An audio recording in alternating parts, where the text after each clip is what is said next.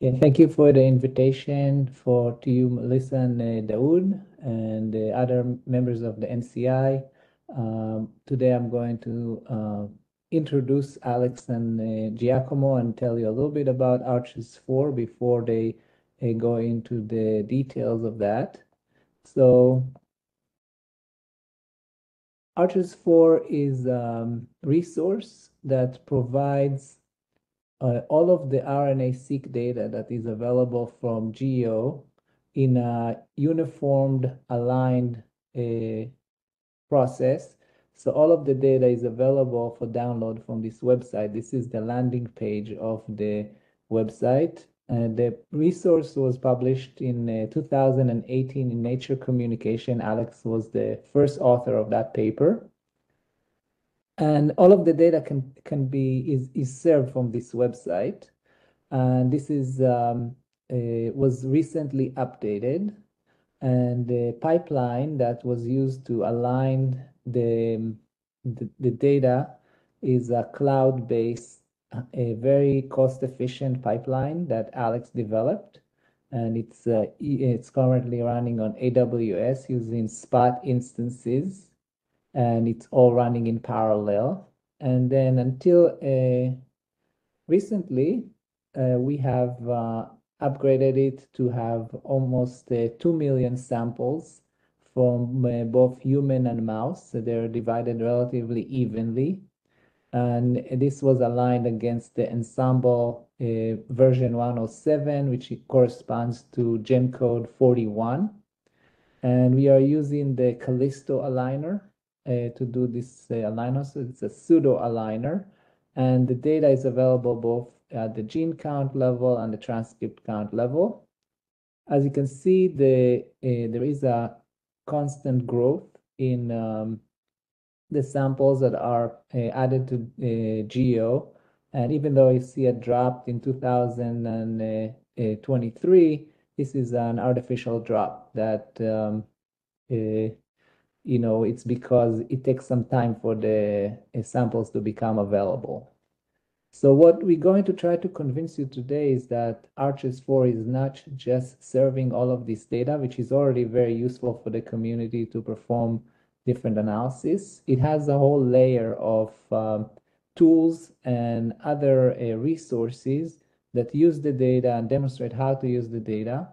And in the beginning of the, the talk, Alex will describe more details about ARCHS4. He also has a special announcement about a Python package that he just finished developing in this past week. So um, Alex, he's a data scientist and the um, person that is really behind ARCHS4, and he has been maintaining it and upgrading it. And uh, Giacomo Marino, he's uh, a recently uh, bioinformatics software engineer that joined our team, and he has developed some uh, new tools that utilize the ARCHS4 data for a specific project, including projects that are very relevant for cancer research. So I would like to pass the baton to Alex to uh, uh, begin the presentation. All right, thank you.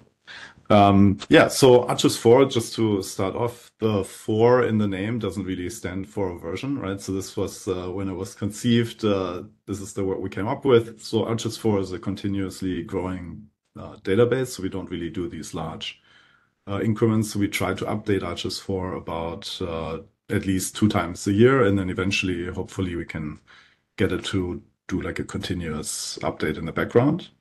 So the the real challenge of of processing all this um, RNA-seq data is really to deal with this huge amount of data, right? So it's really in the petabyte scale um, because we, are talking about millions of FASTQ files that have to be moved through a network.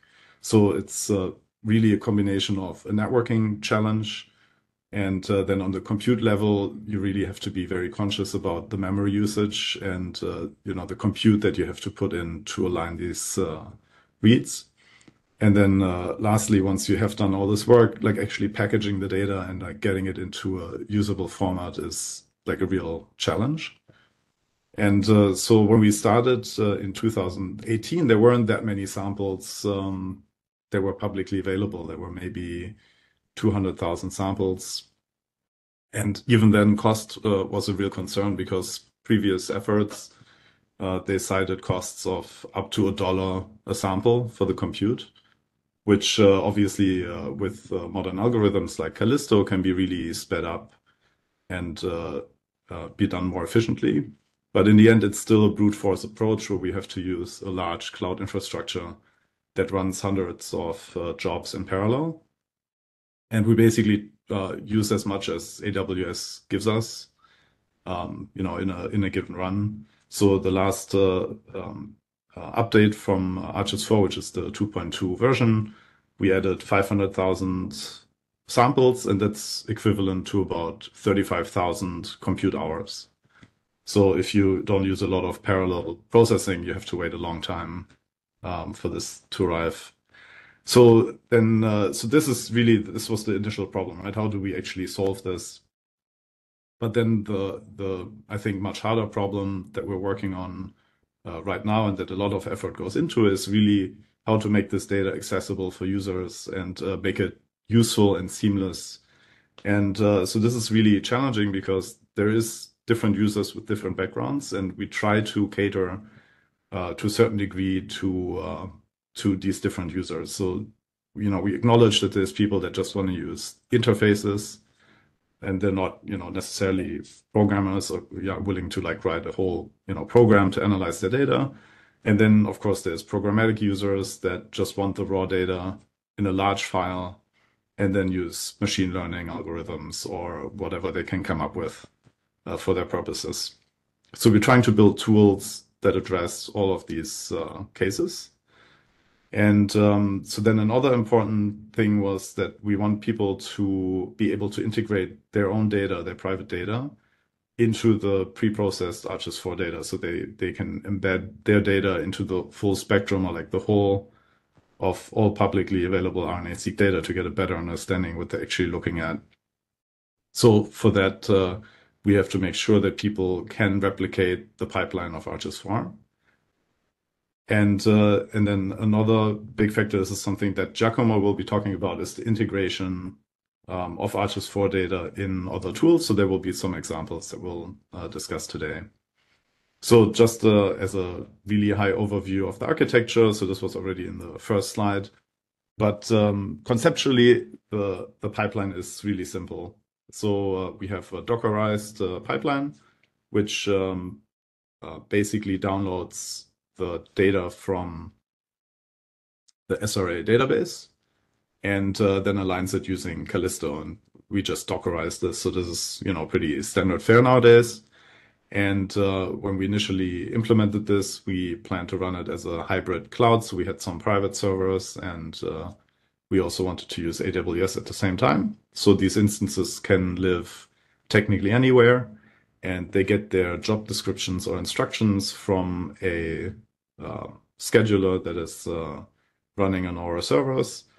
And uh, that one manages basically jobs if they come out, if they fail, so we can track uh, all the progress of all these machines at once. But they then, once they receive an instruction, they work autonomously and they do uh, their thing. And then when they're done, they store the results in uh, an S3 bucket. Uh, but technically, you know, this can run on any cloud platform. So then, uh, as a final result, we get uh, all this RNA-seq data. Um, and the nice thing is that we really compress the data from a petabyte scale to a, let's say, terabyte scale, or like maybe even like in the high gigabyte scale. And uh, so this is much more manageable. And uh, so this, uh, if you go to the website and you go on the visualization button, um, you see these three-dimensional uh, point clouds, and then each point represents a sample that we've processed. And this is just a t-SNE visualization of the data. And uh, so here on this website, what you can do is you can search for uh, you know any metadata, and we basically just search that string in the metadata fields um, that were also stored in Geo for that sample. And so then you can retrieve uh, samples of interest. So in this example, uh, the user um, typed in MCF7. And uh, so then you can see in the plot, it gets highlighted in yellow. So they cluster nicely together. And so this is something in general that we see that cell lines, uh, because they're very homogeneous, they will cluster together um, very nicely in this in this point cloud. Uh, but we also built some shortcuts for tissues.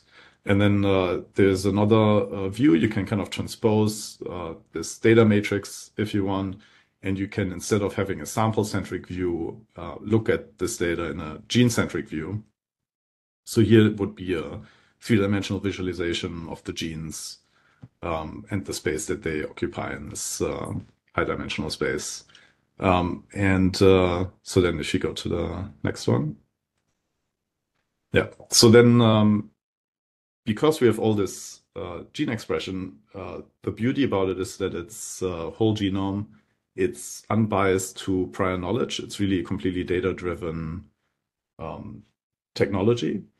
And uh, what this means is it gives us the same amount of information for any gene, whether it's uh, well studied or not studied at all. Uh, and we've previously worked on a great project called Illuminating Druggable Genome that really focused on studying under like that look to look at understudied genes. And uh, so what we try to do is, um, and uh, what we do is we make predictions for for genes and and predict annotations that this gene might fit to. Uh, so here's an example of a kinase that's uh, relevant in cell cycle, and it has been identified as a potential drug target. Um, and uh, so there is not that much known about this gene. There's some annotations, but uh, using the gene expression that we collected from ARCHS4, we kind of are able to infer some of the function of these genes uh, just from a data-driven approach. And so this was the very first uh, um, idea to do this. And then if you go to the next one, so yeah, and uh, so because we have gene expression from basically every possible context, we get a lot of things automatically. So in, in this case, what you see is a um, basically a gene expression atlas that we get for every gene and uh, every conceivable tissue that was ever measured and published in uh, GEO. And uh, so there is actually an interesting effect about this. So if you think of other studies that are very expensive and uh, you know highly cited and very useful, like the GTEx project, where they have about 40 different tissues and they have like a very controlled environment where they measure gene expression, um, it's still a very homogeneous data set. And uh, this is slightly more chaotic because uh, each tissue might be measured by many different labs across the world. So there is some variability in this. And I think this is one of the strengths of this data. It's, it's very real in the sense that if you have an experiment and you have gene expression, you will, you know, be slightly different than what GTEx produced, right? And so this uh, kind of reflects this in a sense. But you can really get like a nice idea of how genes are expressed with the variants that you encounter in the real world. Uh, so we assembled uh, a catalog of about 70 tissues. And then at the same time, we also have a catalog of cell lines. And there are also about 70 cell lines uh, in ARCHS4 that we map.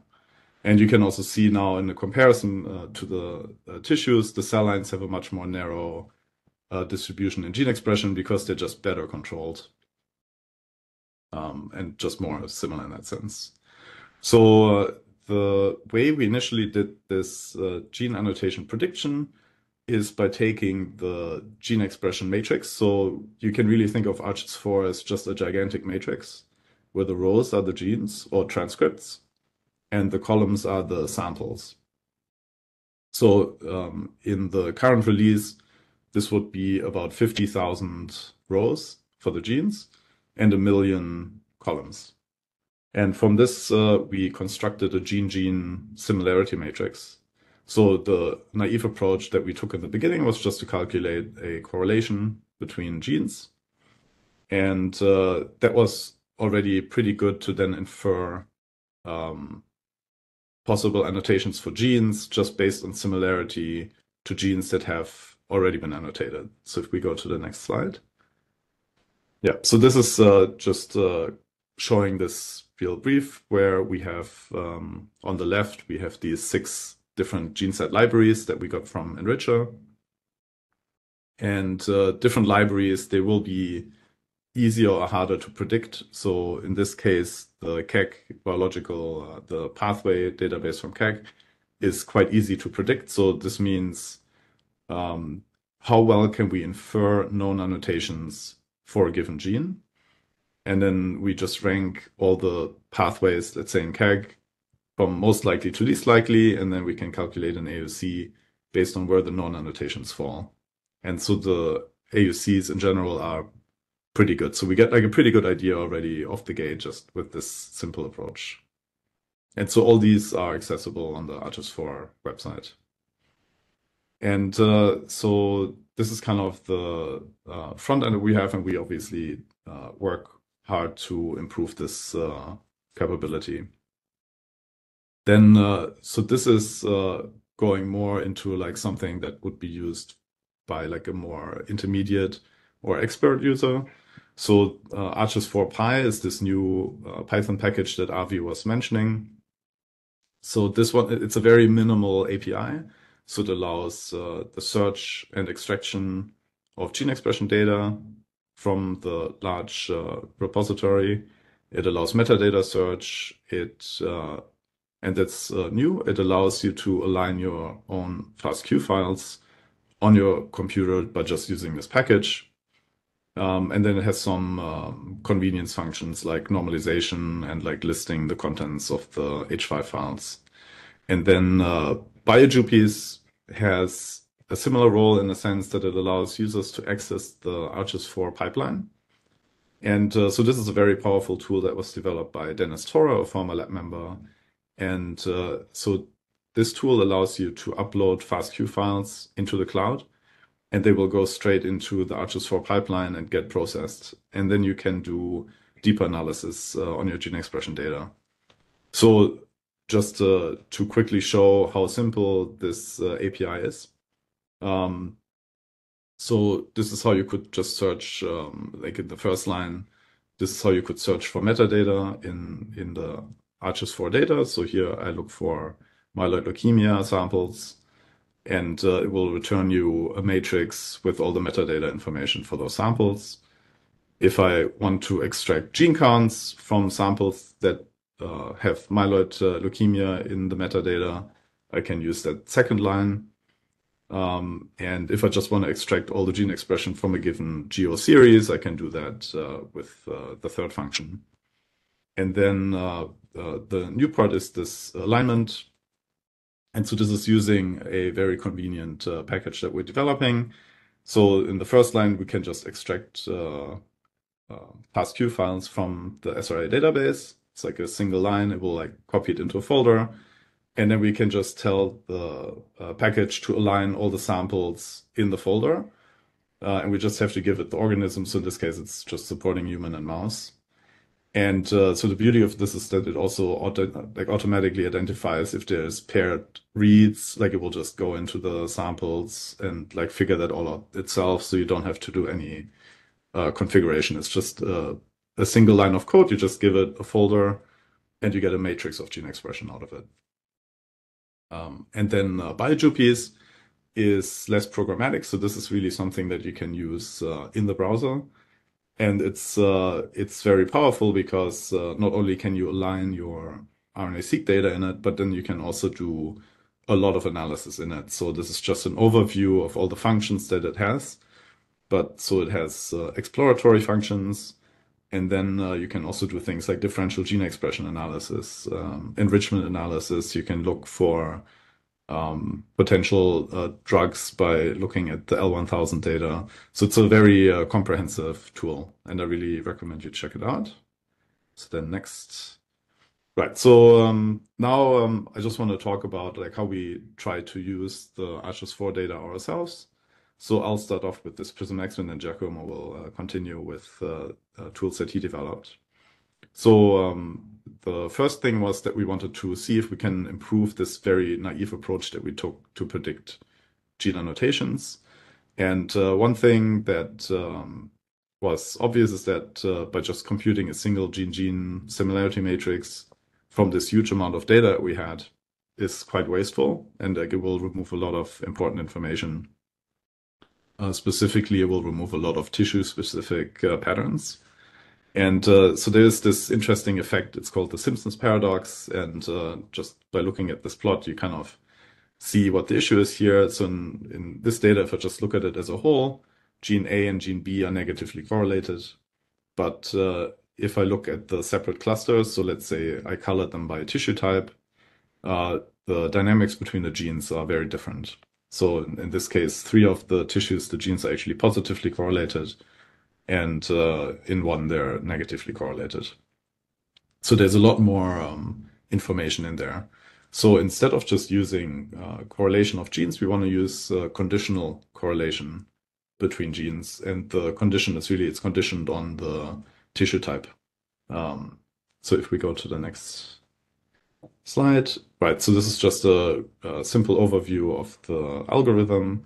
So in the first step, what we do is just unsupervised clustering, and this should retrieve the tissues or at least uh, you know cell types, and uh, you can set the parameter of how many clusters you want to identify in the data. Uh, but we've tested it up to 300 clusters, and then for each of these clusters, you build a separate gene-gene uh, similarity matrix.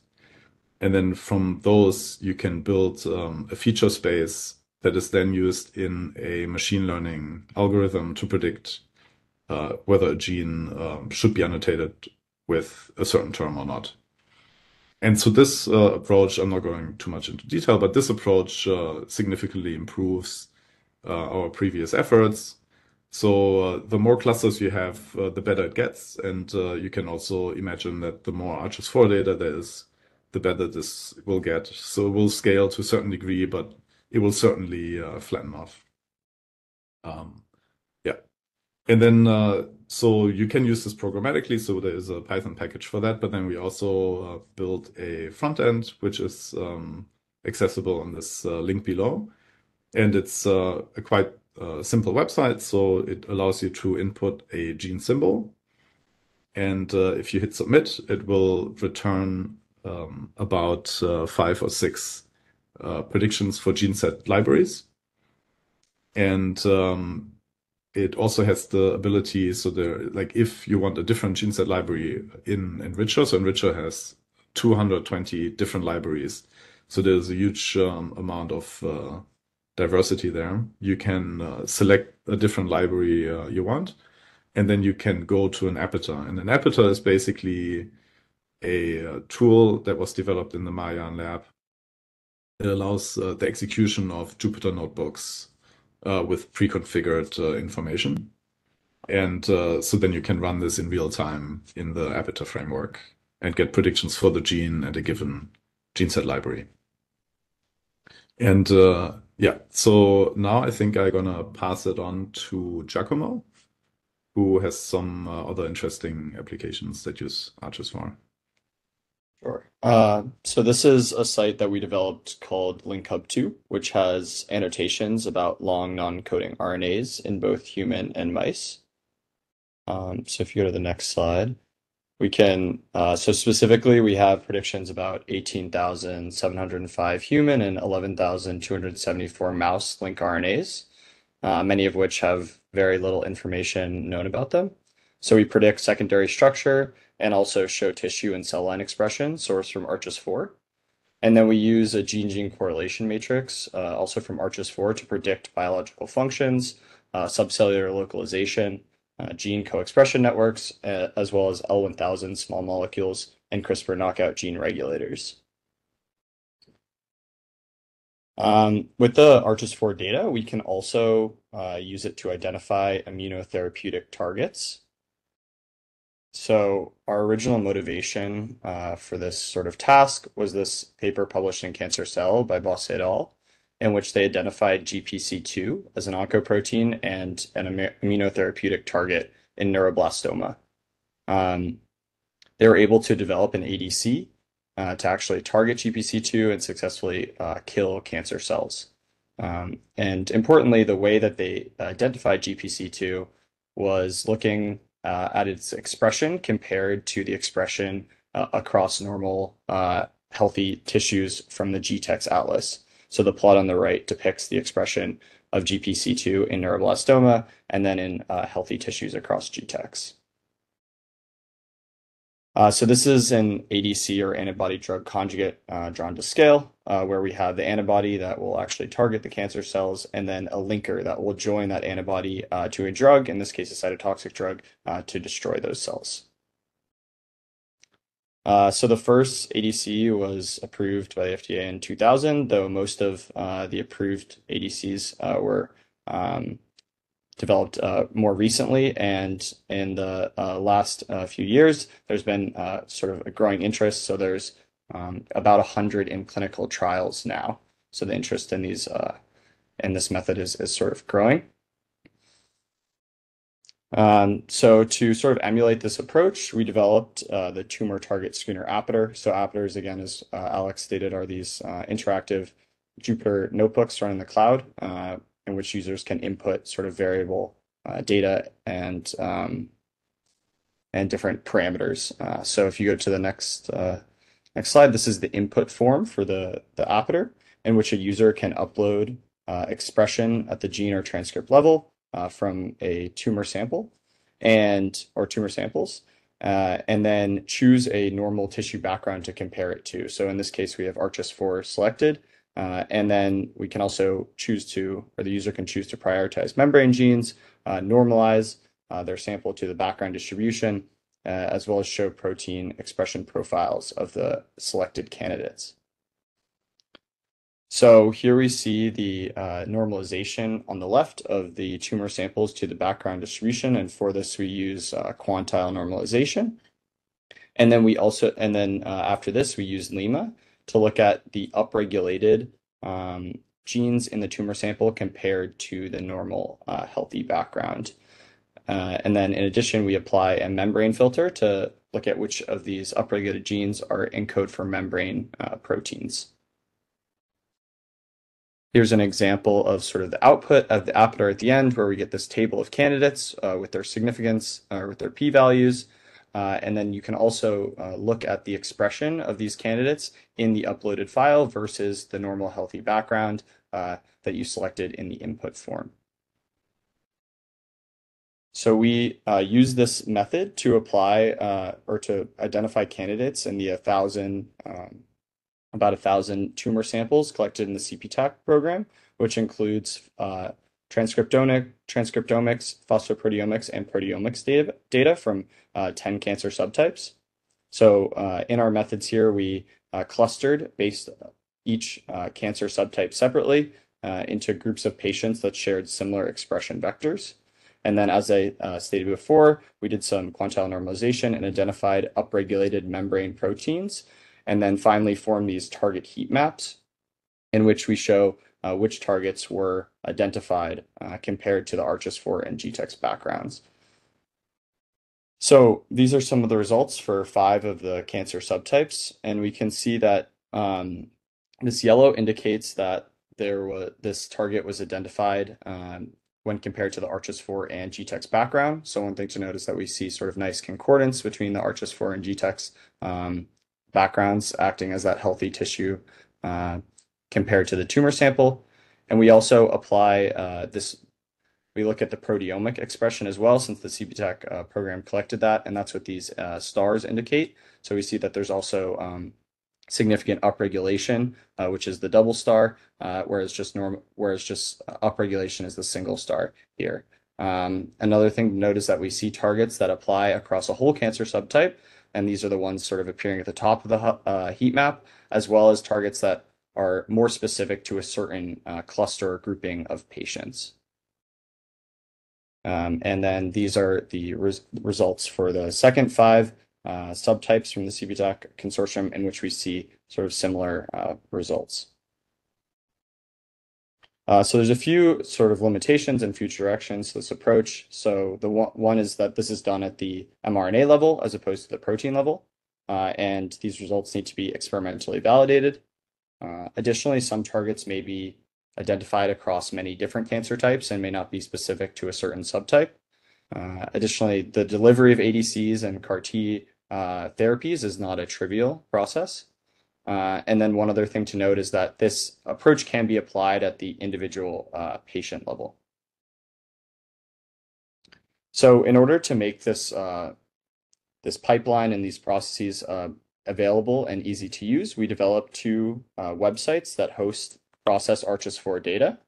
Um, so the first is GeneRanger, which shows the expression of a single gene across transcriptomic and proteomic atlases, including ARCHS4, GTEx, Tabula sapiens, CCLE, HPA, and HPM. And then we also have TargetRanger, uh, which utilizes those process uh, atlases to uh, aid in target identification to find those genes that are highly expressed in the input and lowly expressed across normal cells and tissues. So this is the GeneRanger page showing expression of STAT3 from the ARCHS4 resource. And we're just looking at a small portion of the ARCHS4 uh, tissues here, in which there's about 150 included on the site. Um, the atlases can be easily switched uh, on the top of the screen or on the left panel. And there's additionally a button to look at the transcripts expression for the gene that you're looking at. So if you're the next page, we can we can also utilize the uh, transcript count matrix uh, provided by ARCHS4, as well as GTEx, uh, to to display transcript expression statistics as well.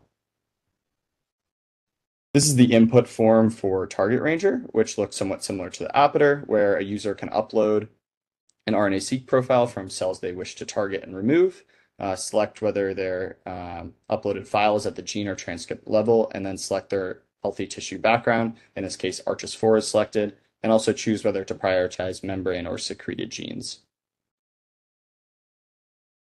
So here's an example of the results provided by TargetRanger. We're provided a table where we can look at um, the test statistic as well as uh, significance values and log-fold change. And uh, the membrane and secreted filters can also be applied on this table after submitting the file. Below the table, we can uh, select or search for a specific target that was identified and look at its expression in the input file compared uh, to the healthy atlas that was used or any of the other uh, atlases that are contained within TargetRanger.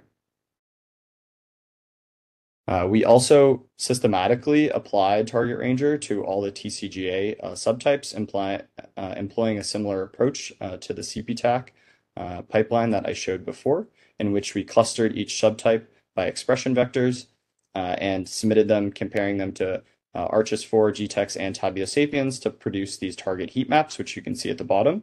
Uh, additionally, we have a table that shows sort of the amount of samples in each of these clusters, common mutations throughout the cluster, as well as a link to download, as well as submit directly to TargetRanger.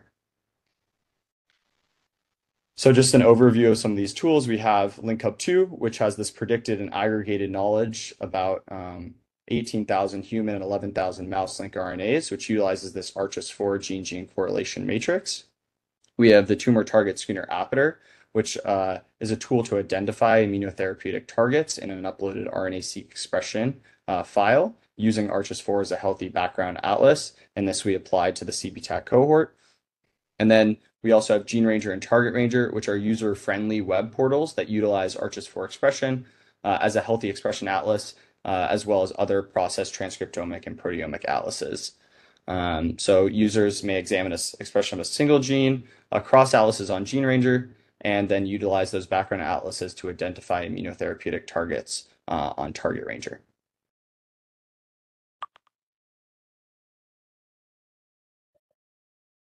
All right, so I guess I can summarize. And uh, first, would like to thank uh, Alex and Giacomo for their excellent uh, presentations.